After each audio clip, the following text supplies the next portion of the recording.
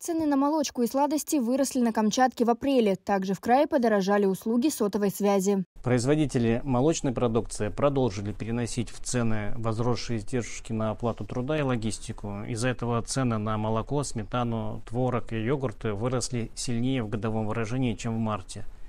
Ускорился годовой рост цены и на кондитерские изделия. Это произошло из-за неурожая какао-бобов в странах-поставщиках и, соответственно, повышение цен на мировом рынке. Цены на непродовольственные товары в прошлом месяце выросли меньше, чем в марте. Замедлился годовой рост стоимости смартфонов и бытовой техники. Это связано с тем, что в апреле цены на эти товары почти не изменились, а годом ранее они росли из-за ослабления рубля.